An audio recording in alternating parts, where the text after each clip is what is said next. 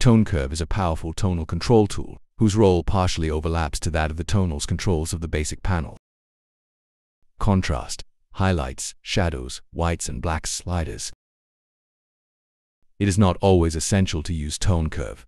In many cases, the simpler controls of the base panel will be okay.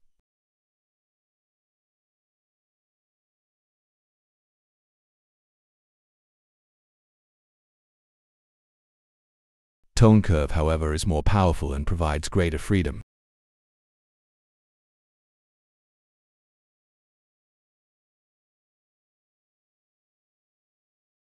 How to read this graph.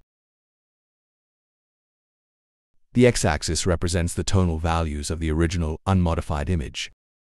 0 corresponds to black, the maximum value to white. The y-axis represents the tonal values of the final image, i.e. the modified image. A line that cuts the plane at 45, like this one, is equivalent to applying no modification. In fact, each value on the x-axis corresponds to the same value on the y-axis. This is the neutral line.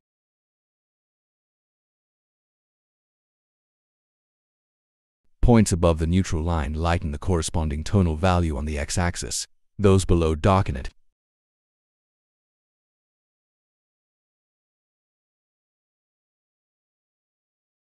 The slope of the curve represents what is colloquially called contrast.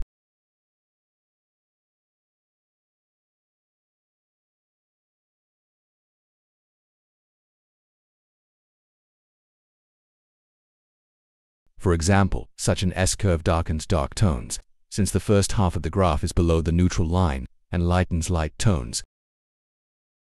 In addition, the high slope at the midtones means high contrast in that region.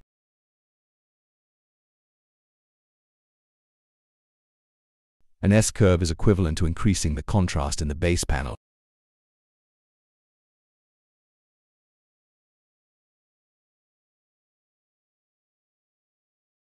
An inverted S-curve is equivalent to reducing contrast in the base panel. As already seen, however, the contrast slider does not have the same power as the tone curve tool. Practical use of the curve tool. The curve tool offers two operating modes, parametric curve and point curve.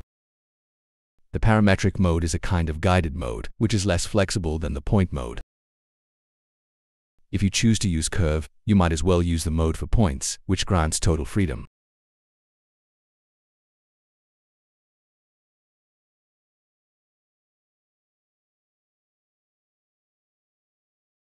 Point mode allows you to act on all three RGB channels, white button, or on a single channel.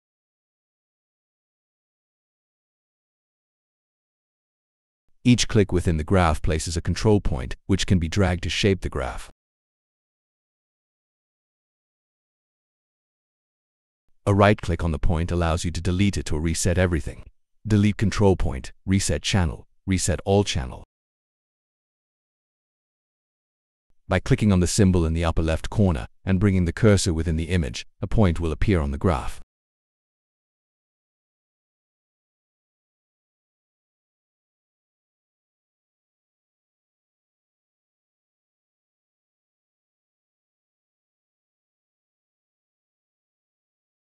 A single click will add that point as a control point. Clicking and moving the mouse drags it.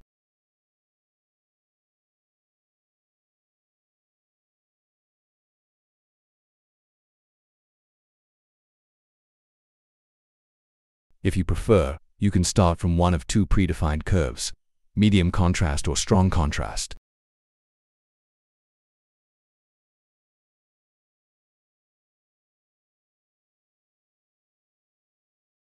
These predefined curves can also be changed at any time by simply dragging the anchor points.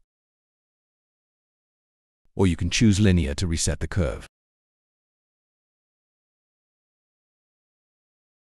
Anchor points can also be moved by manually entering input and output values.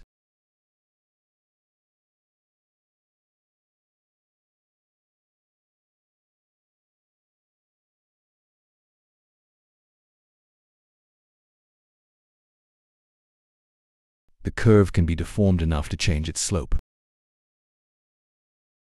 In this case, lighter tones in the original image will correspond to darker tones in the modified image.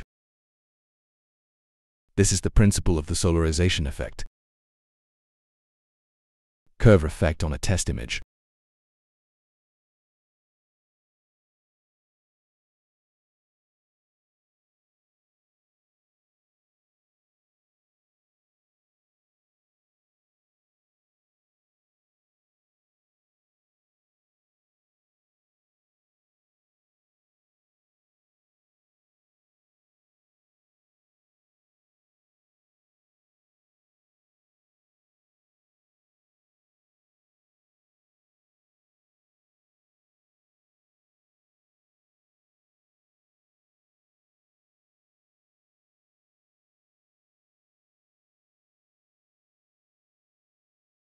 Backlighting. High contrast in this case would not be the ideal choice.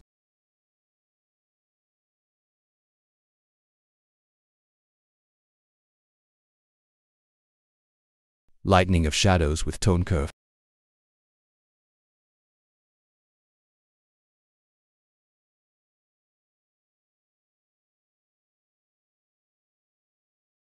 Acting on the individual RGB channels produces peculiar color effects. Please watch the video, A Bit of Magic with Tone Curves, for more details.